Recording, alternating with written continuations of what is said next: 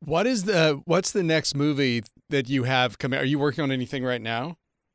I worked on. Uh, we did another season of Loki, and so I was Oh, yeah. in. Um, I was in London for five months. Uh, we did the first year in Atlanta, and so that was fun being in London.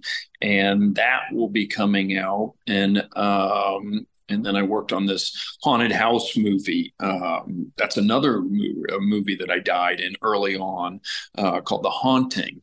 Uh, but this is not to be confused with that. This is uh, this is a Disney movie that you know haunted mansion thing. Yeah, based on my favorite ride, and it's Yeah. you and Tiffany Haddish. I mean, it's a great cast. It's like Jamie Lee Curtis, I oh yeah.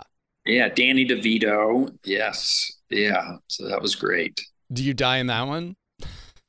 Well, Well. uh, Could be a ghost, haunted mansion. Exactly. You get you could be dead from the beginning. let me just we don't put know. it this way: when when when I see you guys next, and you're th- talking about memorable deaths, I don't think we're going to have to go all the way back to Anaconda. oh Wow. wow. That's all I can say. Wow.